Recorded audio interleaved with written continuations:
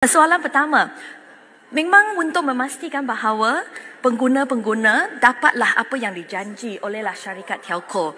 Jadi, uh, sepanjang tahun 2023, MCMC akan menjalankan audit di 4,000 lokasi. Dan setakat uh, 30 September, jadi uh, lokasi yang lokasi yang telah MCMC audit adalah sebanyak 3,280 lokasi. Wah, untuk yang baki kami akan habiskan dalam bulan yang akan datang ini. Tetapi seperti yang saya sebut tadi, kalau uh, didapati bahawa perkhidmatan kualiti perkhidmatan tidak memenuhi standard mandatory yang telah ditetapkan olehlah MCMC jadi surat amaran ataupun notis bolehlah dihantar kepada syarikat telekomunikasi.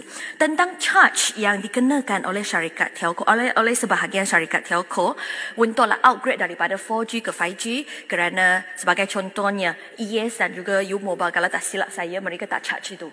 Tetapi Celcom Digi dan Maxis memang mereka ada charge dan alasan mereka alasan yang dibagi oleh mereka adalah kerana uh, uh, mereka perlu beli akses 5G ini dari DNB. Jadi sekarang oleh sebab itu mereka cakap is a commercial decision keputusan komersial untuklah mereka charge RM10 daripada uh, pengguna-pengguna mereka.